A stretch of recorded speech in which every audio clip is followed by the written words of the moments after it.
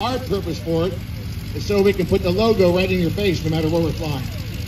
We're flying over a football game and you're there, it doesn't do much good if the logo's here, so we can actually spin it, and turn it, and put it right there.